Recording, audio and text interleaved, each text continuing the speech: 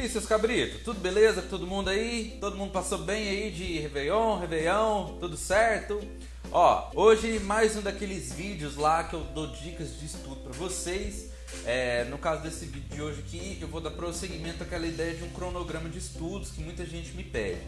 Eu tenho dois vídeos aqui no canal, nessa mesma playlist aqui, que trata de cronogramas de estudo, é, mas para estudo de harmonia tradicional. Tem que estudar primeiro a harmonia tradicional antes de estudar funcional, né?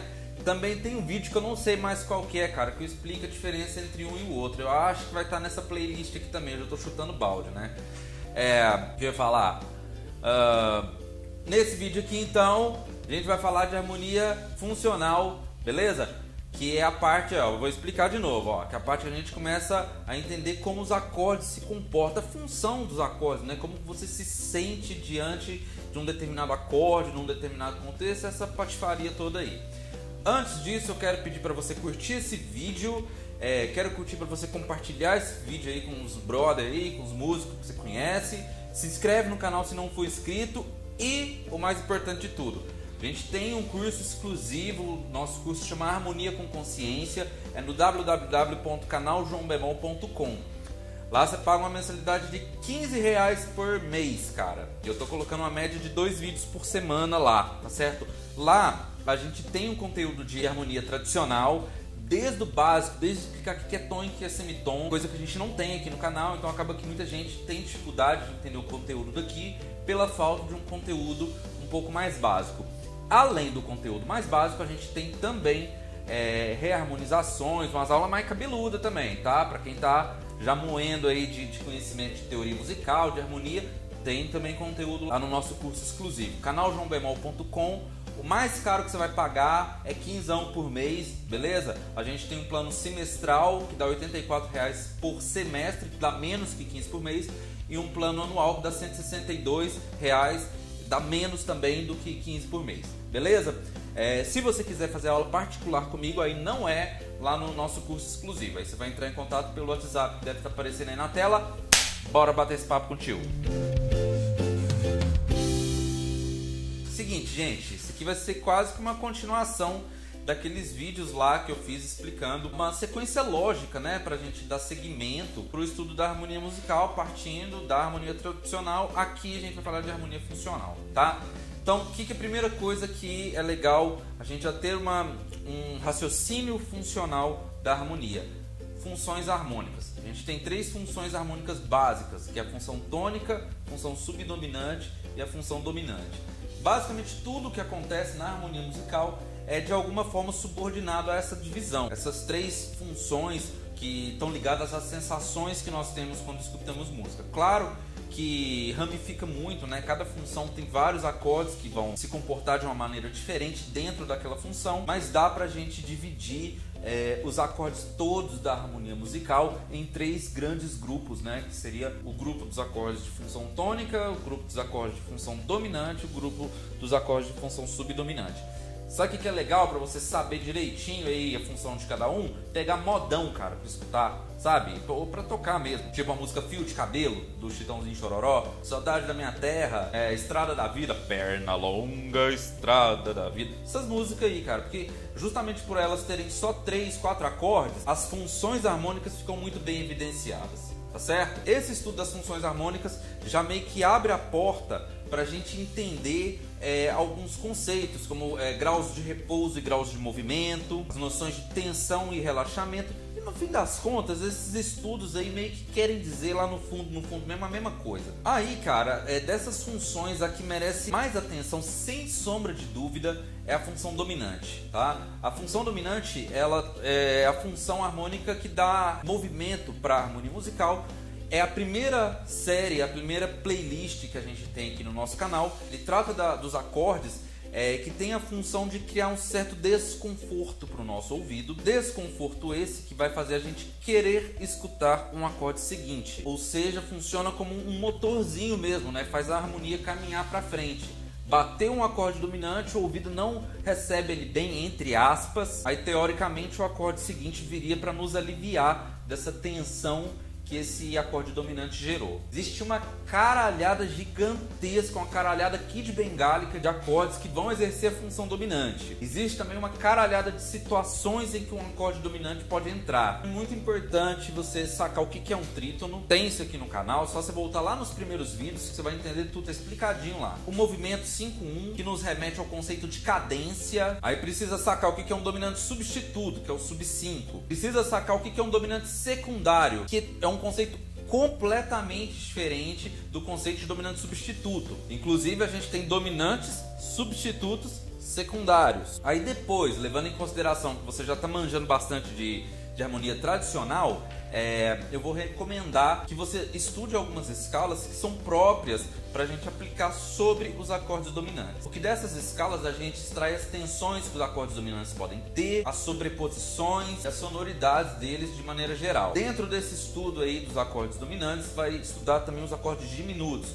todo diminuto é um dominante meio disfarçado. Alguns bem disfarçados, alguns menos disfarçados. Mas todo diminuto é um dominante. E depois você vai estudar alguns casos especiais, alguns acordes de sétima que não tem função dominante, pipipi, papapá, algumas exceções, né, que sempre tem. Aí agora você já está manjando tudo de acorde dominante, você vai entender agora o que é o 251, que é o 2 cadencial. Então procura entender a definição de 251, a estrutura do negócio. Você tem 251 maior e o 251 menor, procura entender a diferença de um para o outro também. Faça alguns testes diferenciando o movimento 5-1, que é aquele que a gente estudou anteriormente, né, para o movimento 2-5-1 que na verdade o 251 é uma extensão do movimento 51. Testa um e testa outro. Aí você vai se deparar com um 2 sub 5 1, tanto maior quanto menor. E também vou rolar alguns casos especiais aí, tipo você fazer o 251 maior e resolver menor, vice-versa também. Beleza, agora você já tá manjando tudo do movimento 51 e tudo do movimento 251. Voltando lá no comecinho que a gente falou da, das funções harmônicas, função tônica, função dominante, função subdominante. O 251 é justamente a combinação dessas essas três funções. O 2 é um acorde de função subdominante, o 5 é o dominante e o 1 um é o acorde de função tônica. Aí agora a gente vai expandir um pouco mais, dilatar o campo harmônico um pouquinho mais, que seria estudando os acordes de empréstimo modal. Esse estudo é importante você dividir em duas partes. Porque você tem uma primeira etapa que é bem tranquila de estudar e uma segunda etapa que é cabeluda pra cacete. A primeira parte, que é a que eu recomendo que você estude nesse ponto aí, é apenas entre as tonalidades maior e menor. Acorde de empréstimo modal, cara, é você não mudar o centro tonal da canção, mas fazer uso de algum acorde normalmente de função subdominante que não está enquadrado no campo harmônico da canção que você está tocando. Então você vai pegar ele emprestado de um outro campo harmônico, sem permitir que isso altere o centro tonal. Aí tem umas regrinhas lá que, que não vale a pena explicar. Tem vídeo aqui no canal explicando tudo. A princípio, você estuda os acordes de empréstimo modal apenas é, entre as tonalidades maior e menor. Beleza, agora você já sabe o que são as funções harmônicas, já sabe o que é o trítono, o acorde dominante, o movimento 5-1, já estudou o 2-5-1, já sabe o que é um sub-5, já sabe o que é um dominante secundário, o que é um 2-5-1 secundário, já tá manjando aí dos acordes de empréstimo modal também. E agora, tchandararã, vai estudar os modos gregos.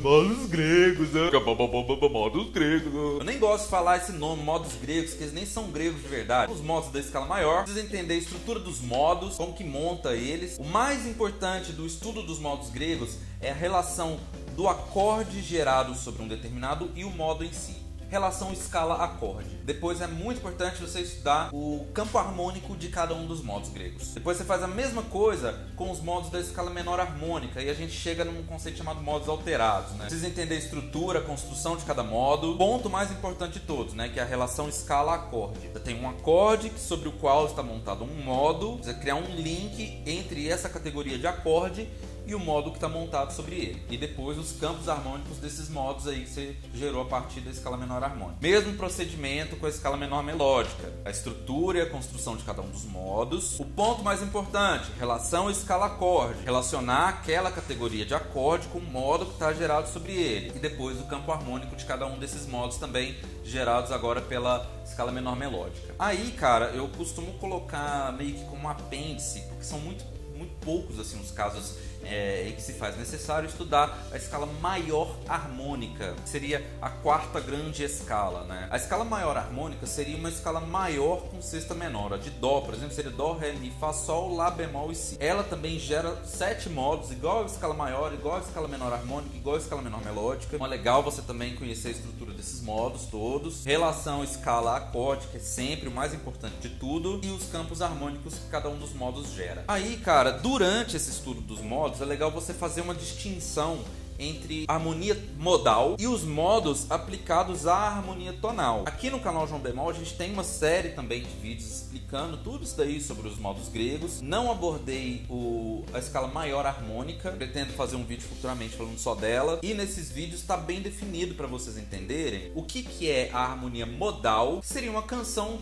que gira em torno de um determinado modo. Porém, contudo, isso é um negócio meio chato pra caralho, pelo menos na minha opinião. Eu acho a harmonia modal um pesaço no saco. Legal é a harmonia tonal, cara. Em harmonia tonal, os acordes vão caminhando de um pro outro, meio que orbitando em torno do centro tonal da canção. Em alguns momentos você se distancia mais, em alguns momentos você se distancia menos, mas ele exerce uma função como um imã e em algum momento você acaba caindo nele. Para cada acorde você tem a aplicação de um modo diferente. Aí que o negócio é topzera da balada, sacou? Beleza, aí feito isso, você já entendeu o que é harmonia modal, harmonia tonal, já estudou os modos de tudo quanto é escala. Agora sim você pode abordar a parte 2 do estudo dos acordes de empréstimo modal. Que seria a mesma lógica da parte 1. Agora a gente tem 21 campos harmônicos, isso sem contar ainda os campos harmônicos da escala maior harmônica, né? Só da maior, menor harmônica e menor melódica. Dá 21 modos diferentes, ou 21 campos harmônicos diferentes, em que esse nosso acorde diferente dos coleguinha pode ser explicado, pode ser respaldado. Aí é um estudo meio treta mesmo, viu, cara? Demanda um tempinho, uns neurôniozinhos também bons aí, tá bom? Aí nesse ponto do estudo, cara, é legal você você começar uh, a conhecer algumas escalas exóticas. A mais importante de todas para mim é a escala diminuta, que gera a Dondin. Tem também a escala hexafônica, né, que é de tons inteiros, e alguma outra escala exótica do seu gosto aí. De vez em quando vem os caras perguntar para mim se eu sei escala árabe, escala tibetana, sei lá essas coisas, cara. Mas você escolhe as escalas loucas aí do seu gosto e vai estudar elas, beleza. Um estudo extremamente importante é o estudo de sobreposição de acordes. Vai fazer isso considerando o campo harmônico referente ou inerente ao modo do acorde que você está tratando. Por isso precisa estudar os campos harmônicos de cada modo. Como nesse ponto do estudo eu estou considerando que você já estudou os campos harmônicos dos modos, agora você tem condição de estudar as opções de sobreposição que cada modo oferece para o acorde que ele casa legal. Pode ser usado tanto melodicamente quanto harmonicamente, viu, mano? E aí, nesse ponto do estudo, a gente já está pensando nas possibilidades de cada modo, ou seja, a gente, sem querer querendo, acabou entrando no raciocínio micro. A gente chama de micro improvisação, mas não se trata apenas de improvisação, né? Isso serve para improvisação e serve para arranjo também. Que é a lógica de pensar por acorde, né? Cada acorde abre um universo de possibilidades diferentes ali para você abordar. Tá manjando de tudo isso daí, cara? Aí é uma questão, cara, de simplesmente você tá em dia com a técnica do seu instrumento para você entrar de cabeça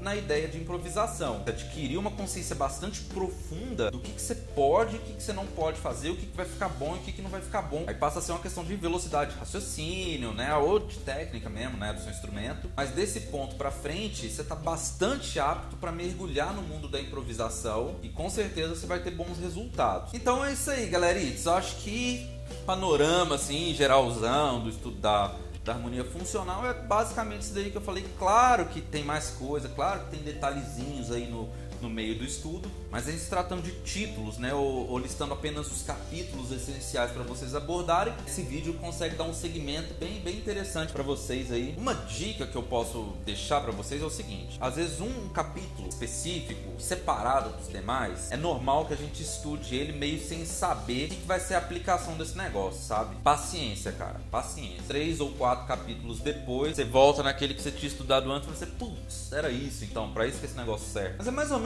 como a gente tá assistindo um filme, parece às vezes uma cena meio enigmática ali, não entendeu direito a cena, na beleza, passa, vai, vai seguindo o filme aí. Aí chega lá na frente, o cara vai te explica aquela cena que rolou lá no começo. Isso acontece muito no estudo, imagino que no estudo de qualquer coisa. Então é isso daí, cronograma aí pra quem tá entrando nessa parte aí. Esse cronograma de harmonia funcional o canal João Bemol já tem bastante material aqui para ajudar vocês. Praticamente tudo que eu falei aqui tem vídeo para vocês assistirem, diferente dos conteúdos de harmonia tradicional que eu realmente não abordei aqui no canal João Bemol. Volto, pois, a recomendar que você se inscreva lá no nosso curso exclusivo www.canaljoãobemol.com é 15 mil reais por mês, cara. Pode ter certeza que vai ser muito bem-vindo lá, a gente vai se divertir bastante Quero agradecer a todo mundo que está aí junto comigo. A gente está com um ano e meio, estamos quase batendo 7 mil inscritos. Mó alegria, mó felicidade. Eu imagino que a maioria esmagadora aqui dos inscritos sejam músicos. Então, cara, que da hora, né? Reunimos 7 mil músicos aqui interessados em harmonia. Pô, cara, né? Top pra caralho. Curte esse vídeo aí, compartilha com os parceiros, se inscreve no canal se não for inscrito. Tamo junto, é nóis e um abração pra vocês.